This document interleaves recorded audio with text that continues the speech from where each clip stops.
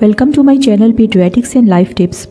In this video, I will talk about the cause and features of Fragile X syndrome, which is also known as Martin-Bell syndrome or Marker X syndrome. Fragile X syndrome is the most common cause of inherited mental retardation, intellectual disability, and autism.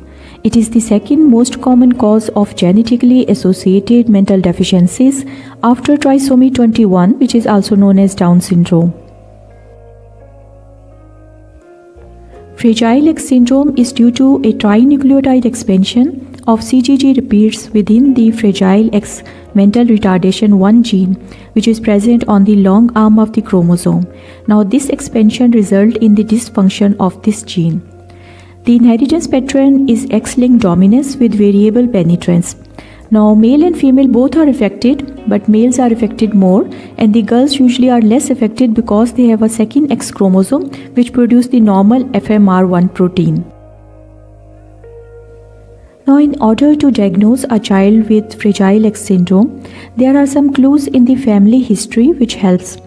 These include multiple male relatives with mental retardation, mother with learning disability or mental retardation, family members with ataxia and tremors, any female infertility secondary to premature ovarian failure, or increased rate of dizygotic twinning.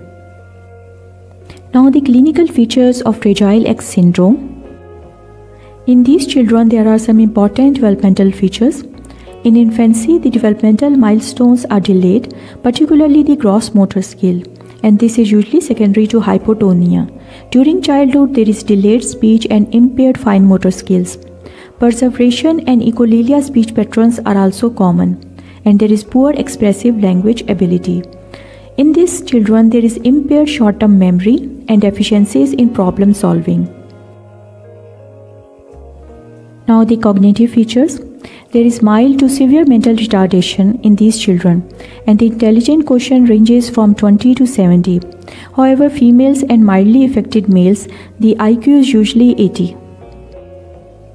Neuropsychological features in Fragile X syndrome include depression, general and separation anxiety, oppositional defiant disorder, autistic like behavior which include poor eye contact, social avoidance, hand biting or head flapping, attention deficit hyperactivity disorder like behavior, including aggressive tendency. Seizure disorders are also common in these patients, particularly the complex partial seizure, and the age of onset is 6 to 24 months. In this patient, there is also difficulty when routines are altered. Obsessive compulsive disorder, sensory integration disorder, self injurious behavior, and significant tantrums are also a part of this syndrome. Feeding difficulties may also occur, especially gastroesophageal reflux or vomiting or both. Rarely there is failure to gain weight. However, in a few patients, a Prader-Willi phenotype is present in which there is obesity associated with hyperphagia. Sleep disturbances are also common. There is difficulty falling asleep or frequent awakening. Loud snoring with or without obstructive sleep apnea may also occur. In Fragile X syndrome, there is also delayed toilet training and frequent enuresis. There are also recurrent non-specific infections like otitis media and sinusitis. Now I will give the important physical findings of Fragile X syndrome. Now during childhood there is early growth spurt but the adult height is average or slightly below average. Obesity is also common during adolescence.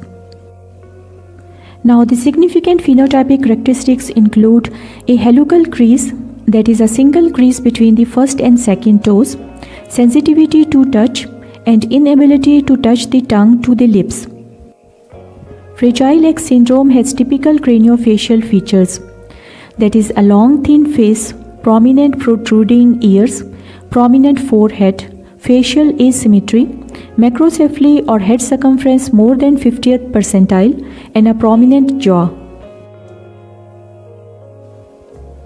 In mouth there is dental overcrowding and a high arch palate.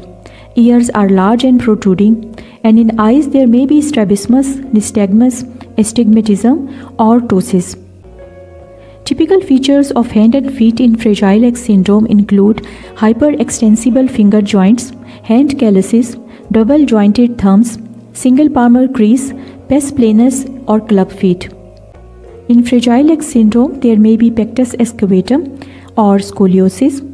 In postpubertal boys, there may be macroorchidism and inguinal hernias are also common. Mitral valve prolapse with a heart murmur or a click is also common in these patients. Thanks for watching this video. Please like, share and subscribe to my YouTube channel.